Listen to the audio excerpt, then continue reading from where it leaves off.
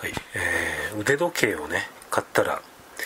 えネットの広告でねガンガン押されてくるというそういう話ですね。あのー、この前ね腕時計を買いまして高いものじゃないんだけどもえー、まあ買って。で、えー、まあ、買う前にあのネットで調べるでしょ？型番とか入れてこういう機能があるとか値段はこのぐらいとかどこで売ってるとか。えー、まあ、そういうのを調べてから実際の店舗にね大きい電気屋ですけどもそういうとこに買いに行ってで買って帰ってきたと、うん、そしたらねあのその後からですねどんどんネットの広告であのその私が買った腕時計同じタイプの腕時計をどんどん押してくるわけ。あのネットの広告っていうのはその人の趣味とか趣向に合わせたその人の興味に合わせたえー、ネットを自動にね配信してくるケースがあるんで例えばアマゾンとか楽天とかそういう系統のものとかあるいは大きな電気で、えー、家電屋さんとかのね広告で今こういう腕時計ありますよと興味あるでしょみたいな感じで広告をどんどん入れてくるわけね、うん、で私はもうそれ持ってるんですよね。これは買ったから。で買って持ってるのにどんどん広告をね入れてくると。まあ2個は買わないからまあまああんまり意味はないんだけどもえー、まあうざいかなと思われますけども私はあんまうざくなかったね。それに関してはね。うん。あの自分が持ってるものをどんどん広告で押してくると。それはあの自分が検索したからなんだね。自分が検索してこういうの興味ありますよっていう情報があその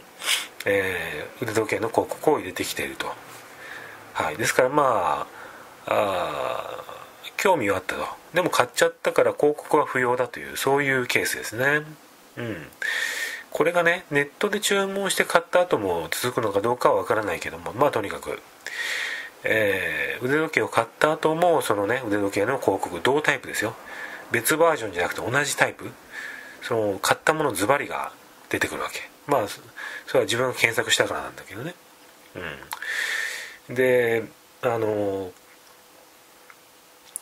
結構嬉しかったよね。はい。自分が腕時計を買った後もその同タイプの腕時計の広告をどんどんしてくるというのはですね嬉しかったですね。うん。なんでかなと思ったらですね普通はねあの持ってるものをどんどん売りに来ても売りに来てか宣伝されてもねうざいだけと思われるんだけども私は嬉しかったですねなぜかね。それなぜかって言ったら考えたらねあの自分が持っているものを宣伝してくる。ねということはどういうことかっていうと自分の判断が正しかったんだというそういうことになるんじゃないかなと私はちょっとその時思いましたね。つまり、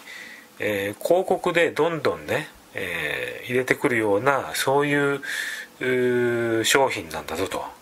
ね、私が買った腕時計は非常にマイナーなニッチな誰も買わないような広告さえないようなそういうマイナーなものではなくてネットでもね広告をどんどん入れてくるようなそういうメジャーな、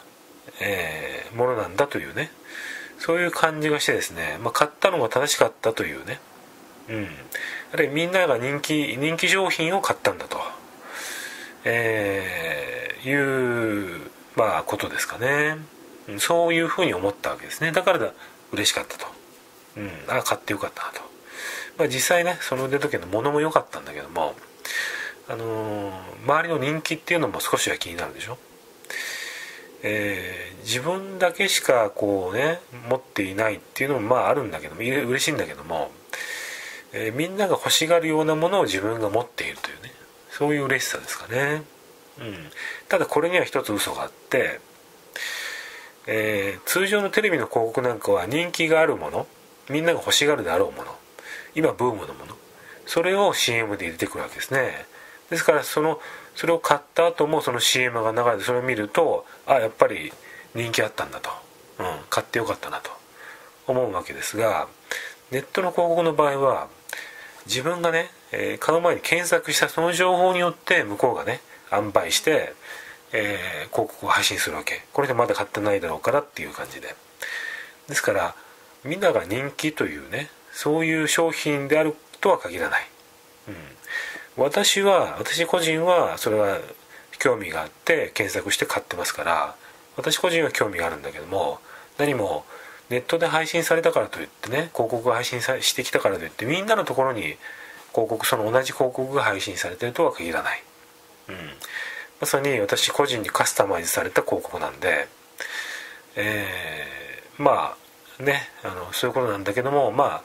これまでのねあの CM テレビの CM なんか普通のね通常の雑誌の CM なんかあと同列に考えてしまって、えー、嬉しかったという勘違いが起きてるわけですね。まあでも勘違いとはいえあの嬉しかったんで、まあ、それはいいんですけども。